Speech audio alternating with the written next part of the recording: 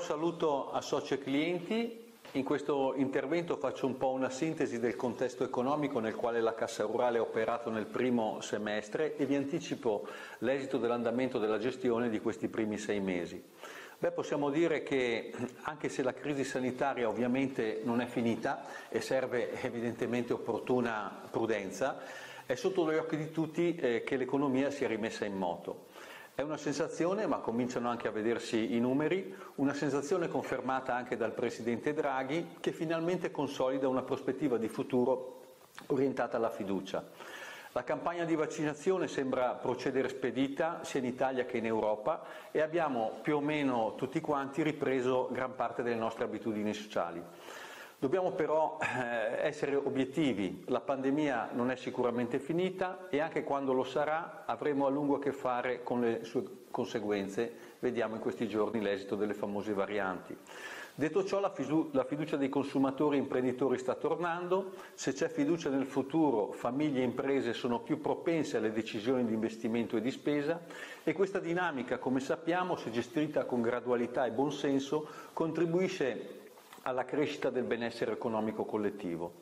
In questo contesto l'Unione Europea si appresta a erogare importanti finanziamenti che, se ben utilizzati, potranno porre le basi per il rilancio della vecchia Europa nello scenario mondiale, mentre la BCE, attraverso la politica monetaria, dovrà fare la sua parte per consentire lo smaltimento dell'eccesso di debito che i vari Stati, chi più chi meno, hanno contratto.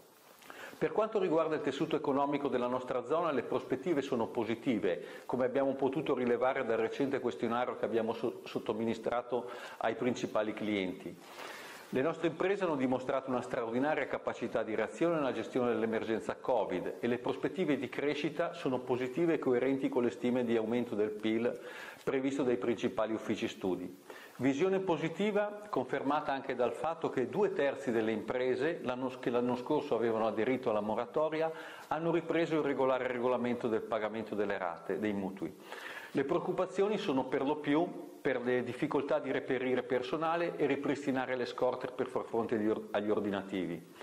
Mentre le famiglie vengono da un anno di lockdown che ha causato una generale riduzione di consumi, con ovvie ripercussioni economiche, ed un accumulo importante di risparmio.